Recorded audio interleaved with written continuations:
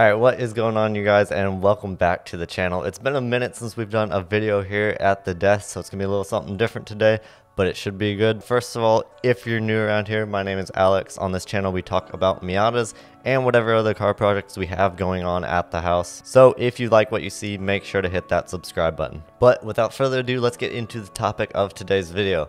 Today, I wanted to talk about something that I have been meaning to get to for a while now, ever since I made the Miata Buyer's Guide video, and this is going to be a deep dive into all of the special edition Miatas. There's quite a few of them, and many of them are rare and will bring a higher price tag, and they're just pretty cool cars that Mazda made. So we're going to take a look at that today, and this could be a good video for those of you that are looking for a Miata but you want something a little bit more special and maybe you have a larger budget to spend one of these special editions might be the car for you. I'm going to be referencing a Jalopnik article for a lot of this video. I'll have that linked down below that you can check back as well as this video if you ever want to check back on some of these. It's a very good guide that pretty much covers all of the special editions. We're going to go in chronological order starting from 1991 up until current times. So first up in 1991, this is what's called the BRG. This is the British Racing Green Miata. It had some of the interior features that you'll come to see later in the M edition. This is the wood grain Nardi shift knob and e-brake. It also had tan leather interior as well as stainless door sill plates. There were 3,997 of them made and they were all came in that British Racing Green color. It's important to note they did come with a black soft top still and the hard top was an option. And as it is a 91, it was a 1.6 liter. This was basically a fully loaded Miata as it came with AC, a CD stereo, cruise control, and the headrest speakers. The next year in 1992, this was one of the rarest Miatas. This is the Sunburst Yellow. There are only 1,519 of these built in the Sunburst Yellow color, and that is pretty much the only thing special about it, but it is very rare, and the yellow looks awesome on a Miata. I think it's one of the best colors on a Miata. These were just basic Miatas, it's 1.6 A package, so you're not going to find power mirrors or power windows but it is a very rare car and it looks very good. You can probably expect a clean one of these to go in the six to seven thousand dollar range nowadays. Also in 92 you have what's known as the black and tan. There were 4,625 of these made in brilliant black exterior paint with tan leather interior. You're also going to find the Nardi knobs on this one as well as a lot of them are C package as well.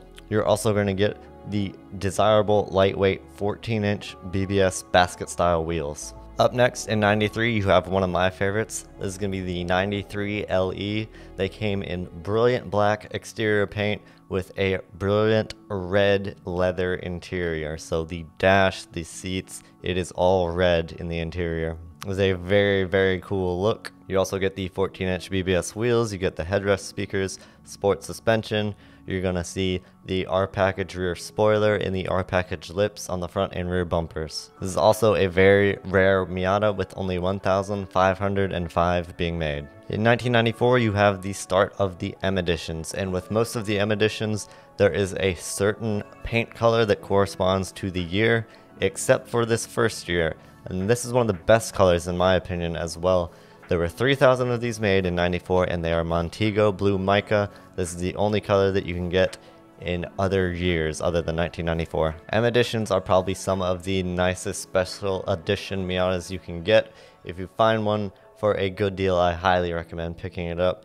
You're going to get the best of the best. You're getting the Torsen limited slip differential. You're getting the tan leather interior fully loaded, Nardi shift knobs, power everything, mirrors, windows. You're getting the M Edition stainless steel sill plates, and M Edition badging on the exterior. And these are all going to be 1.8 Miatas. Also in 94 and 95, a very rare car, another amazing color combination. This is the Laguna Blue. This color might look familiar to some of those that have watched the channel before as it is the color that we painted Eric's EK hatch. So these are Laguna Blue Mica exterior with tan leather interior. Like I said, awesome color combination. Very rare, only 341 in 1994 and 122 in 1995. Up next in 95, another great color.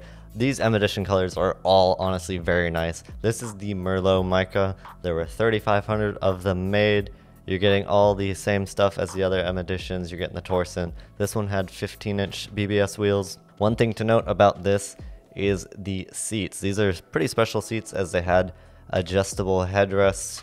These are pretty rare seats. correct me if I'm wrong, but I want to say I've seen a, a nice set of these seats going for almost a thousand dollars. In 1996, they made 3,000 Starlight Blue Mica M editions. These cars actually had an alarm system on them, and they also came with 15 inch Enkei wheels instead of the BBSs, and it's noted here that these are actually some of the heaviest wheels ever put on a Miata from the factory. And finally in 97, the last M edition, another great color, 3000 Marina Green Miatas were made in 1997.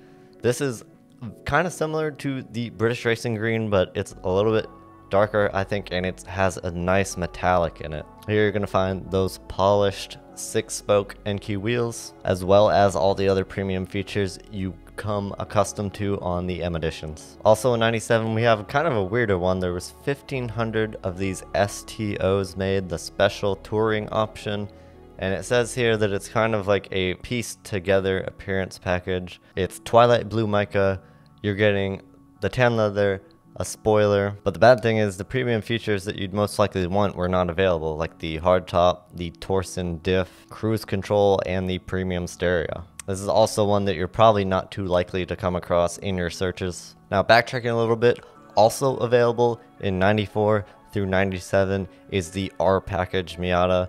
This is kind of a Miata geared towards like racing enthusiasts and autocross. It's a stripped down Miata Power steering was not available, no leather interior, optional air conditioning, no automatic transmission available. You're to get sport suspension with the Bilstein shocks, stiffer sway bars. They also had slightly different designed tie rod ends. A lot of people like to take these R package tie rod ends and put them on their normal Miatas. It's supposed to reduce bump steer. They came in a bunch of different colors, including that Laguna Blue mica that we talked about earlier. Production numbers for all the years are 1,218 in 94, 465 in 95, 111 in 96, and 47 in 1997.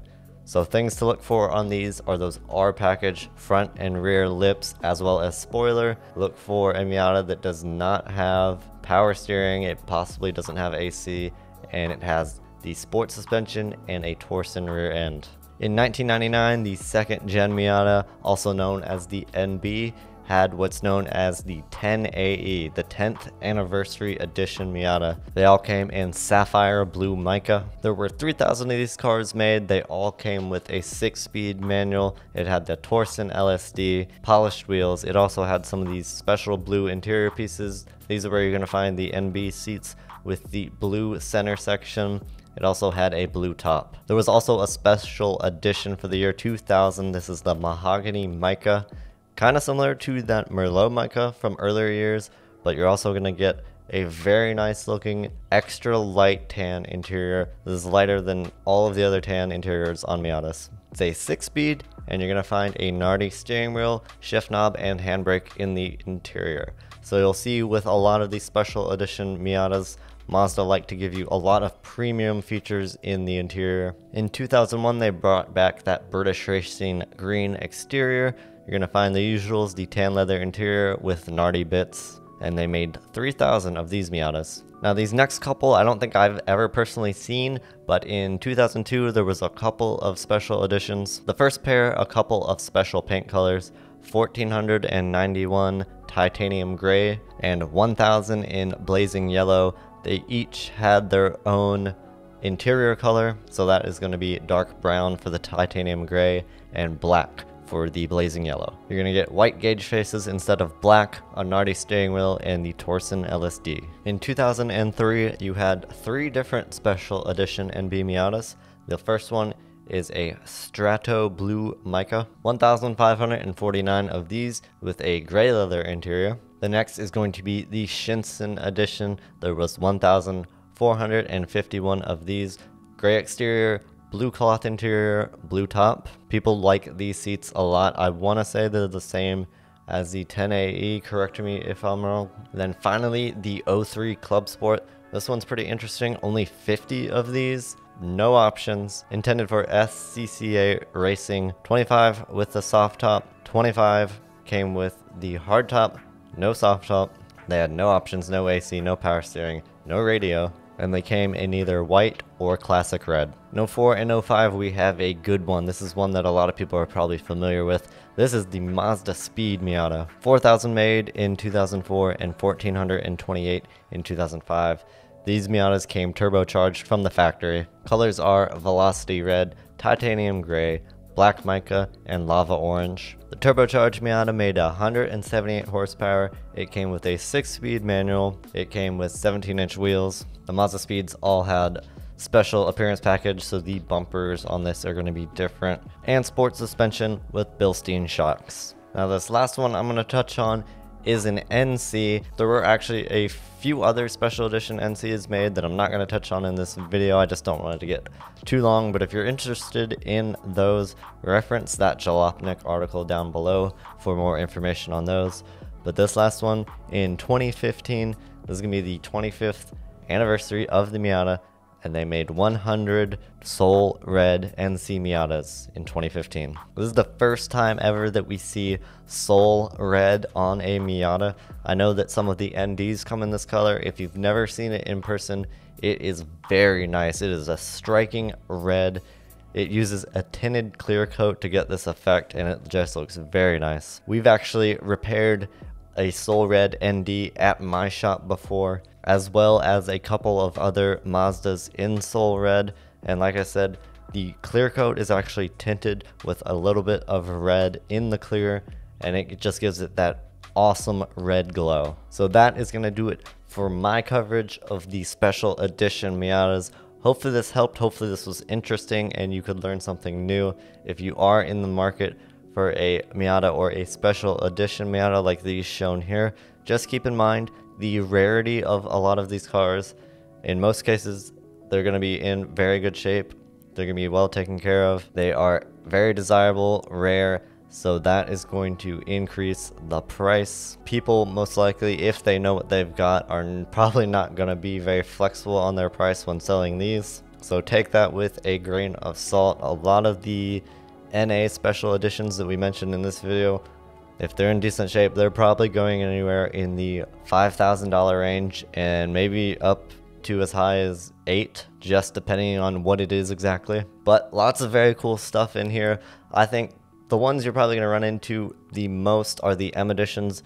These are pretty common to find. They're not too hard to find. You come across them a good bit. The R package, the Mazdaspeed NB, and probably, at least in my experience, the BRG. I've seen quite a few BRGs. But that is going to do it for today. Let me know if you have any questions in the comments down below. More updates to come on the $1,000 NB Miata project next week. Make sure to hit that subscribe button if you liked what you saw. But other than that, I'm going to go. Thank you so much for watching. Have an awesome week, and we will see you in the next one.